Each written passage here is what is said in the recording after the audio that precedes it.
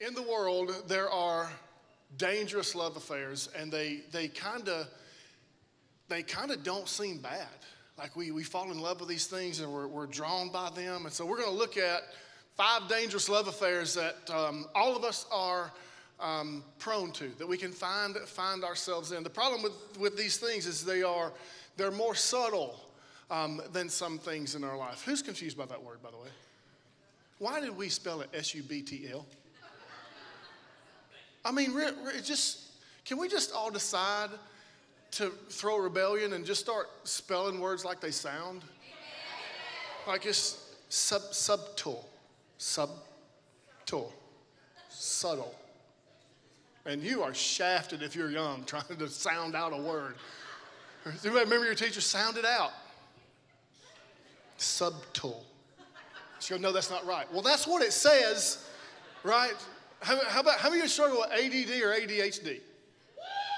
Yeah. And what's the first thing they want to do? I want to give you a test to see if you have it.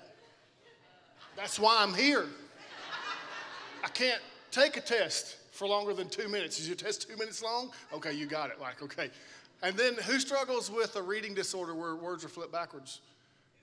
I mean, why, why would you name something that somebody struggles with reading dyslexia? What in the world are we doing to people? And you're like, does this have anything to do with the kingdom of the Lord? Yes, it does. it's funny, and yes, it does, because here's what the world does the world tries to overcomplicate things. And, and the world system is to make it super complicated so um, that we can't see into the simplicity of the kingdom. And the world wants to confuse you into believing that, hey, if, if it's subtle, then maybe it's not too bad. And, and to fall in love with these things is not necessarily wrong. And there is a way to manage all the things that I'm going to talk to you about, but the problem is, is when you have a love affair with these things, they're, they're super dangerous because they do pull you away from God. And so this is not so much a, like a, um, this is not like last week's conversation where Josh and I kind of challenged you and like, hey, here's the danger of, of Christianity. These, this is just the danger of living life. This is the thing, these are some of the things that want to come in and rob you of a true relationship with Jesus where your life is actually transformed. So, so the first dangerous love affair is this loving the praise of men more than the praise of God.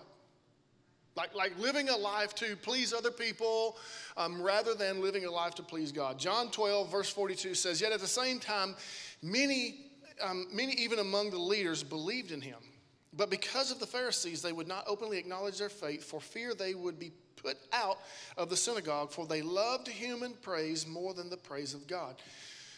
They all understood who Jesus was. They, they looked in his direction like they're like, okay, this is like the legit Messiah. But because of the pressures of being accepted by other people, they, they wouldn't openly talk about who they knew Jesus to be, who Jesus was to them. Why? Because it, the verse ends, they loved the praises of people more than they did God.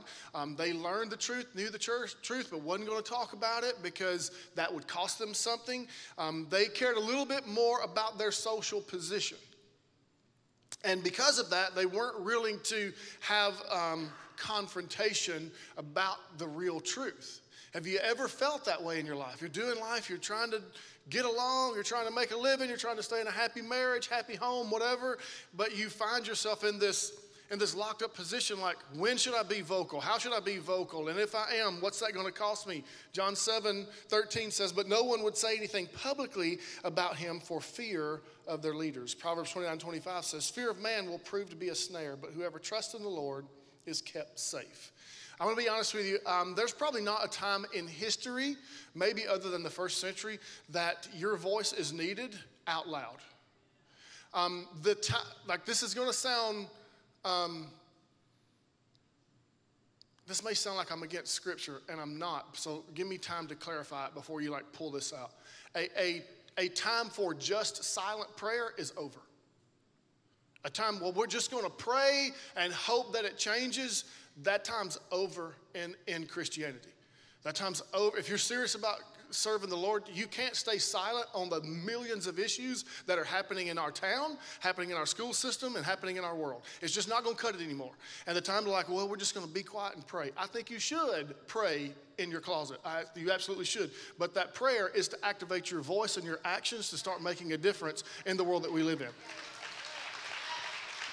So I will tell you, if you speak up, you're not going to be accepted publicly. It's not going. If you speak up for um, or against and for biblical gender identification, because there's just two. If you speak up and for biblical marriage, uh, masculinity, femininity, anything that the kingdom, anything the Bible says, like it's for real in there, if you stand on that, you're going to be ridiculed, you're going to be hated, people will not accept you. And so, are you finding yourself in a dangerous love affair where I don't want to wrinkle feathers. I don't want to cause confrontation, so I'm not really going to be that public vocal about my true values. That's dangerous. Um, and we'll talk about why that's so dangerous when we get toward the end. So, the second love affair is this loving money more than God. Loving money more than God. 1 Timothy 6, 6 through 10. But godliness with contentment is great gain. For we brought nothing into the world and we can take nothing out of it. But if we have food and clothing, we will be content with that. Those who want to get rich fall into temptation and trap into many foolish and harmful desires that plunge them into ruin and destruction. For the love of money is the root of all kinds of evil. Some people, eager for money, have wandered from the faith and, faith and pierced themselves with many transgressions. So, verse 6 and verse 9, Paul says um, he's calling us to a life of, of godliness and contentment. Um, he warns of like the dangers that pursuing riches, and this is a motive issue, but pursuing riches can happen. And the truth is, human nature, apart from the power of the Holy Spirit, is always going to be greedy and selfish in nature. Like you're always gonna, you're always gonna want more, want more, want more, want more. Proverbs 27, 20 says, Death and destruction are never satisfied, and neither are human eyes. Like without the Spirit of God inside you, your eyes are never satisfied. Your, your wants, your desires. It's, it's why that when you get something new and you see someone with something newer, it makes you want that thing.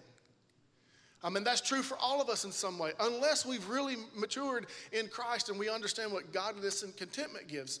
So it's really, it's really about your heart. So I would, I would say this, you know, having money is not bad. Money having you is terrible. If your motive is, man, I just, I just want to like make more money, make more money, make more money because you just want more money because you think that's going to make you secure, that's going to make you safe, and that's going to make you happy, that's a super dangerous love affair. If you want coin for the sake of furthering the kingdom and you know what that looks like and you're generous already, here's what people say all the time well, when I get some money, I'll be generous. No, you won't. Your heart's already jacked up. Like that's that's not how it works. You're in a dangerous love affair. You actually love money more than you love the kingdom. You actually love money more than you love God. So it's not the Bible says the love of money is the root of all kinds of evil, not money itself. Money's indifferent. It's a tool. And if you know how to use it, here's what I believe. If you use it correctly, God can get more to you because he knows that he can trust you with it. But if you like lock it all up and you care about you, yourself, and I, it's probably going to be very difficult for you to ever hold on to any of it anyway. Um, and the reason you're broke is because you're not generous.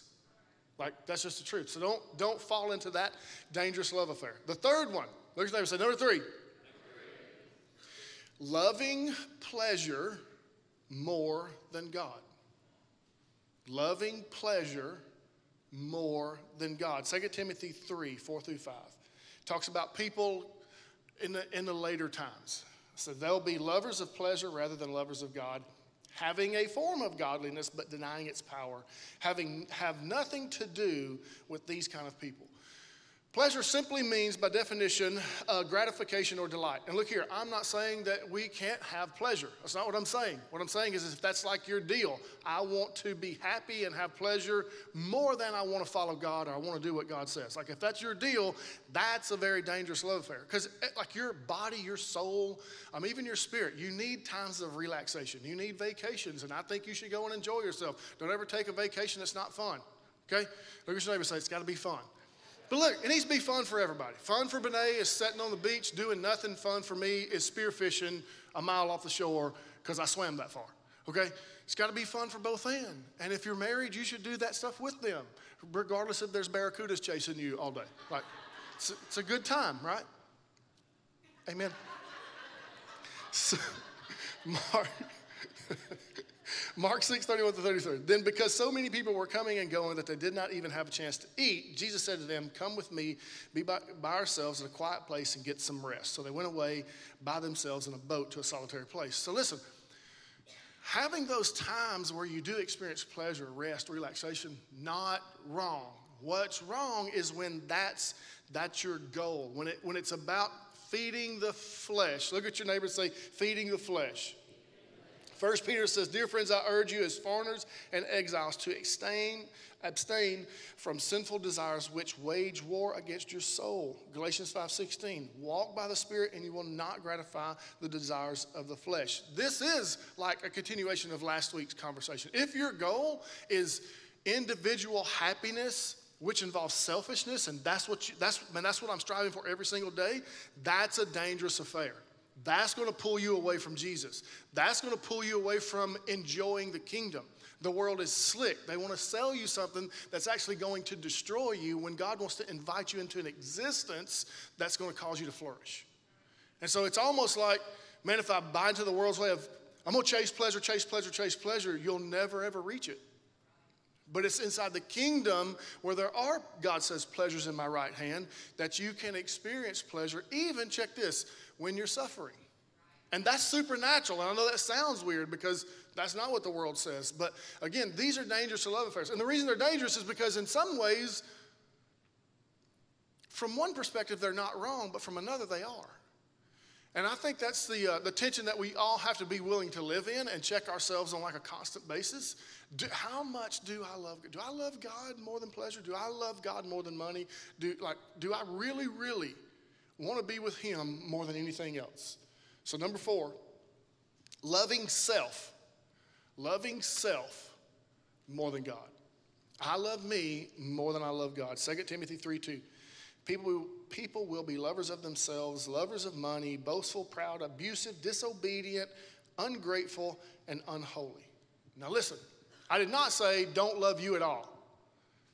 Like, you should love you because if you don't love you, you can't love your brother as yourself. Everybody follow, big up what I'm putting down? All right, real hard to love somebody if you don't love you. But what I am saying is you cannot love you more than you love God. When, when you are more selfish than selfless, even in your serving of others, that's a dangerous love affair. What do I mean by that? How many know you can be selfish in your motive to serve? Like, man, I just want to pat on the back. I want to be recognized. Um, here's, a, here's another one. And it, again, just a little wrong. Makes me feel really good when I help you. Those are all bad motives. Why? Because it's just all about me.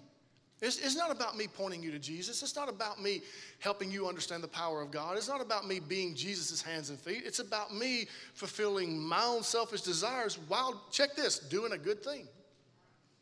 Which is why it's such a dangerous love affair. Because loving you is not wrong. Unless you love you more than you love God.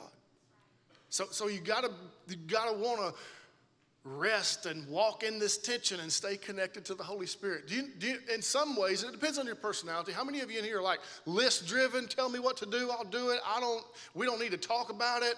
You ain't even got to check my feelings. How many people in here? Okay. All of you raise your hands. Okay. All right, because I told you to. So just, how many of you like to be told? Just tell them what to do. All right, raise your hand. Okay. Listen, between me and you, I'm down with legalism. You're like, well, no, wait a minute. Listen, listen, this one telling you. Just give me a list, Lord. Like, just, if you could just tell me what to do, I'll do it. Because you know what's hard? Hey, Dan, just flow in the Spirit, it'll be all right. Not all right. How many know that's not, not, not all right? Because how many of you ever feel this way? I feel like that's the right thing to do. And the Bible says if I'm listening to the Spirit, can't go wrong. How many of you ever did that and went real wrong? Like, real, not even a little bit wrong. Like you found you was in a ditch and you're like, oh my dang, what in the world? How did I get over here? It's because the culture that we live in is about, hey, hey, just do what you feel, man. If it feels good, it's probably good.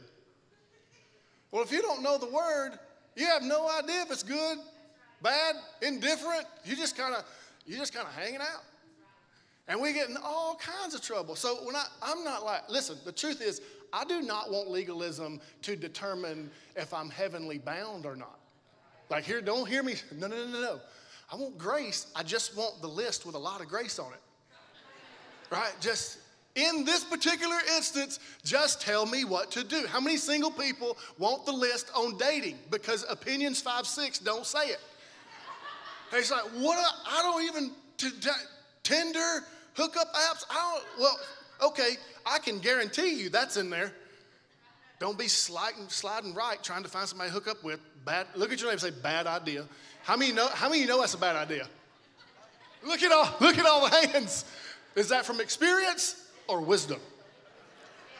Yeah, there's no hands on that one. Like, I don't know. How that happened. So, like, there are some things, but like, even let's just say you like love Jesus, you're trying to date in a godly manner and be single, do all the right things. How many know that list ain't in there?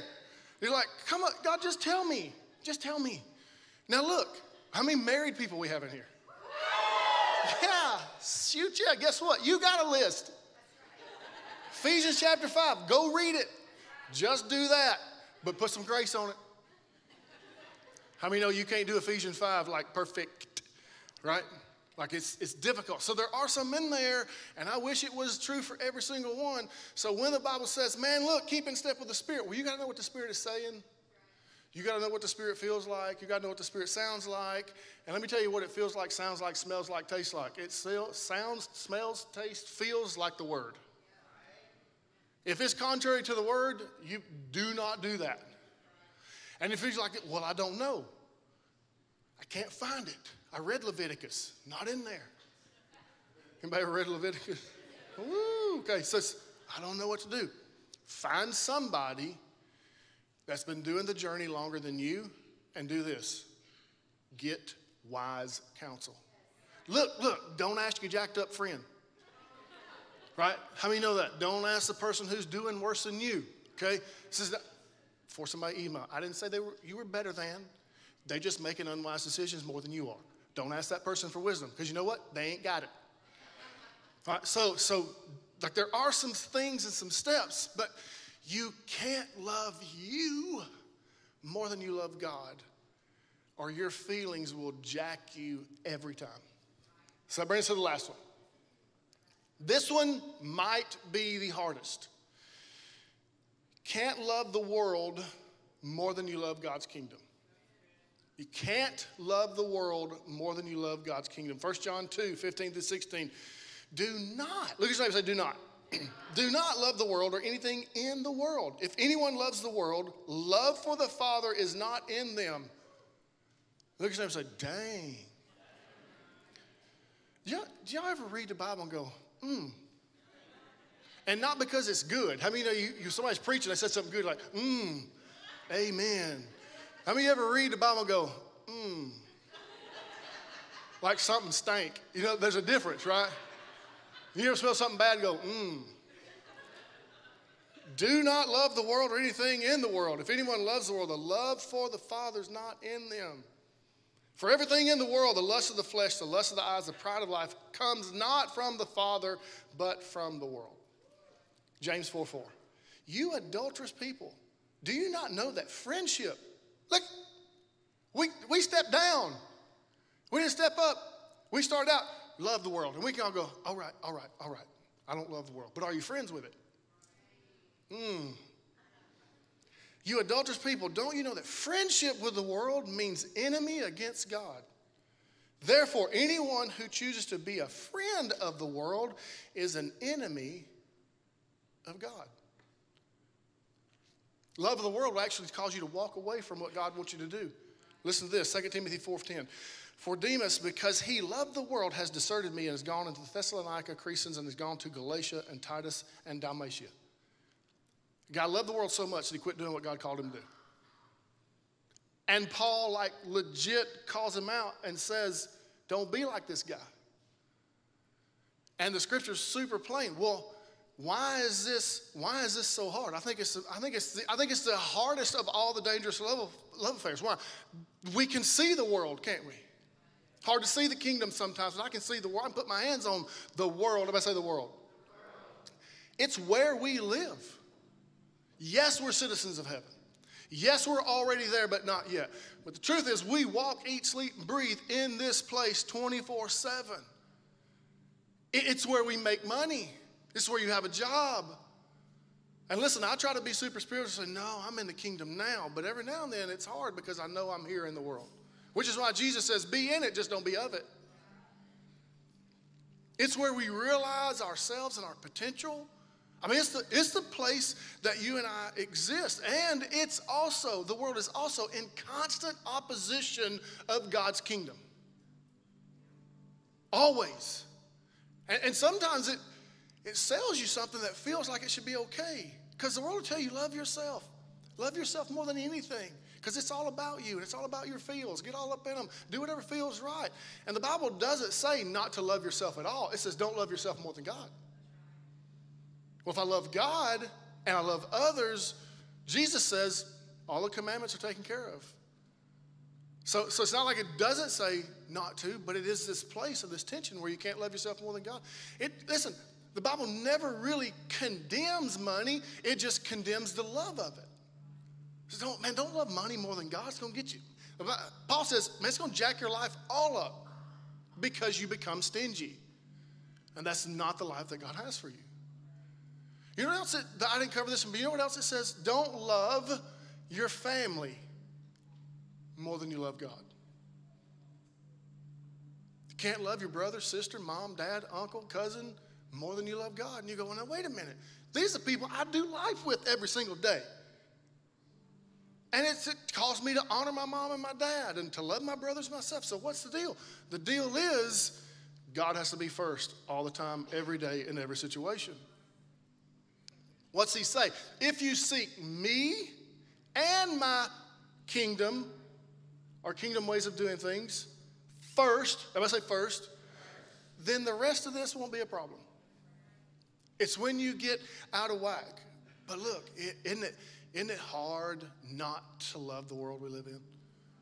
And I know you're like, no, no, no, no, it's jacked up. It's crazy. No, no, I, I understand that. But like, we do get caught up in its system. We do get caught up in that striving and going and doing. And we, we can't even imagine going to heaven. Because if you fall too in love with money, yourself, stuff, things, the world, everything like this, then, then heaven is not something you look forward to. Because you know none of that stuff will be there. Like it, it confuses and frightens you when the picture of heaven is painted. What are we going to do? You're going to hang around the throne all day and sing. What? Can't I mow a yard or something? I mean, can you imagine 24 7 in worship service. Pray, ain't gonna be no love is a battlefield played. It's just gonna be Jesus, Jesus, holy, holy, holy, all the time. The reason that frightens, or at least let me not push my dysfunction on you. The reason that frightened me when I was less mature, I couldn't imagine, listen, I could not imagine sitting in a church service all day, every day, singing. I'd be like, don't, some point, don't the Lord get it? Like, holy, holy, holy, all day. Can I have a break? Got to go to the bathroom. Got to go take care of. Like, really, this, I'm, I'm just being honest. And maybe somebody here relates, and the, the rest of you can judge me, but like, this whole faith walk is a real struggle, and these are super dangerous love affairs that want to pull you away from what a pure, deep, powerful relationship with Jesus feels like, sounds like, tastes like. It's fulfillment, it's glory, it's all of those things, but what do you have to do? Oh man, it's easy. Deny yourself. Deny yourself. Take up your cross. Follow him every single day. And you know what's, here's the kicker. If we love the praise of others more than God, money more than Jesus, pleasure more than Jesus, our personal lives more than Jesus, family members more than Jesus, the world more than Jesus, the Bible says we're not worthy to be his followers.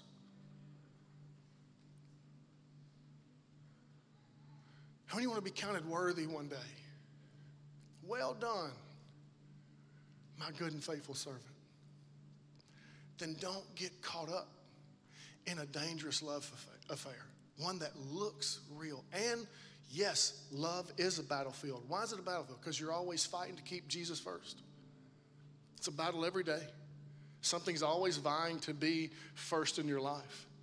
Can't be your spouse, can't be your kids, can't be your job, can't be your paycheck, can't be your family, can't be, can't be anything but God.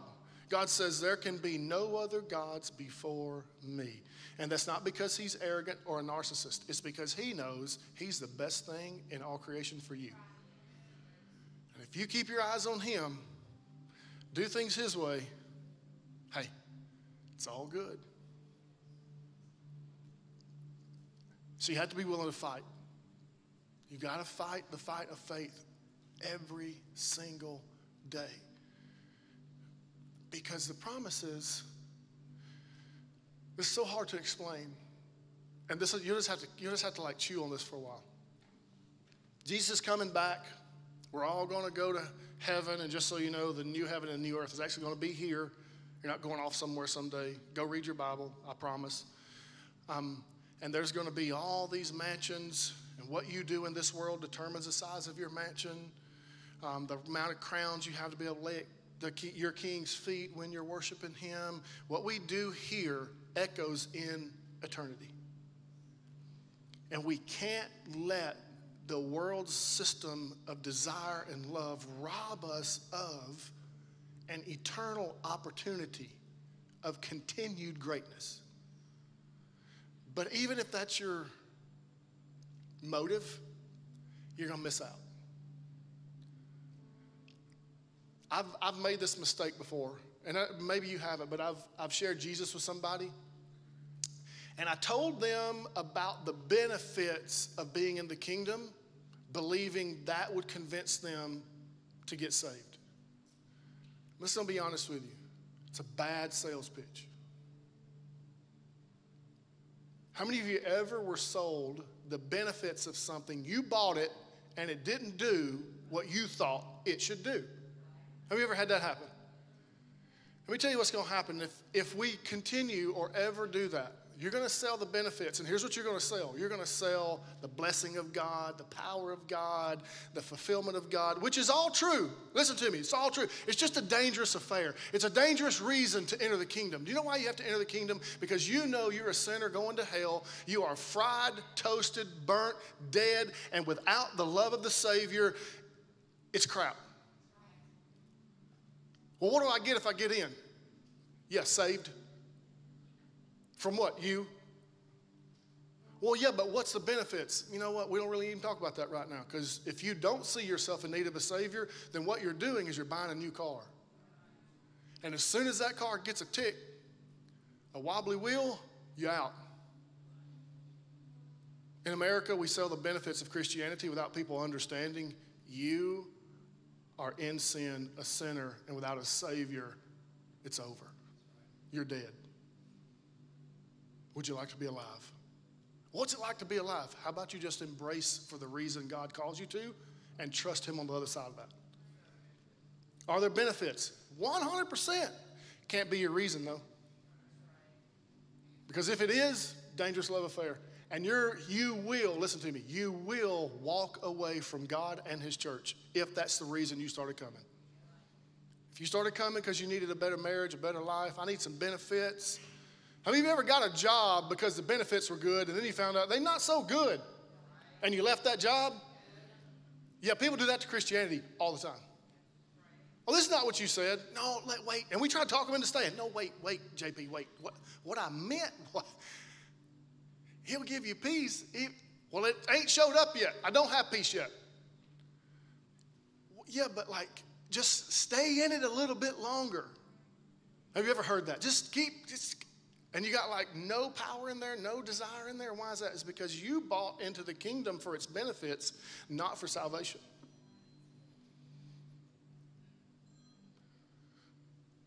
That's a dangerous love affair.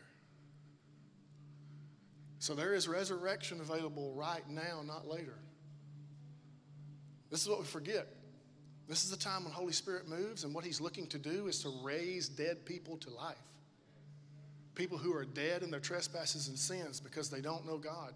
Jesus says in John 3 17, I didn't co- I'm not coming to condemn the world, you're condemned already.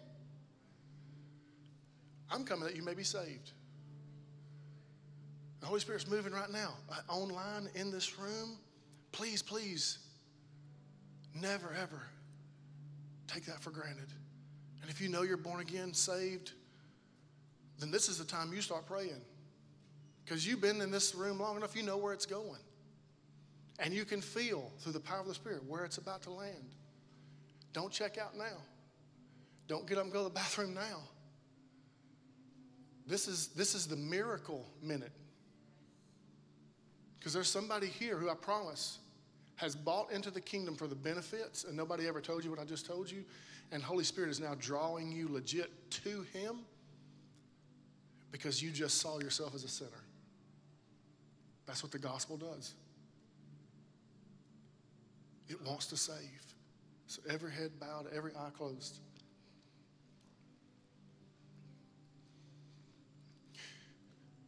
If you've fallen into a dangerous love affair with any of the things that I just said, it doesn't mean you're not saved. It means you've been deceived or you just chose unwisely. Take this time to repent to God for cheating on Him.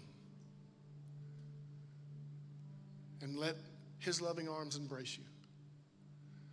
If you're in here and you're like, man, I totally started coming, started hanging out, tried to get into the kingdom for the benefits, but I never saw myself as dead in my trespasses and sins. If that's you, this entire auditorium and all of heaven is praying for you. That you'd have the courage to surrender your life to Jesus. Bible says, confess with your mouth that He is Lord and believe in your heart that God raised Him from the dead, and you'll be saved. What does that mean? He paid the penalty for your sin that He doesn't want you to have to pay for. But you got to believe that. And then confess He's Lord. What does that mean? He runs the show, not me. So if you're in this auditorium and that's you, then pray something like this. You can pray with me or pray something like this God, I am a sinner.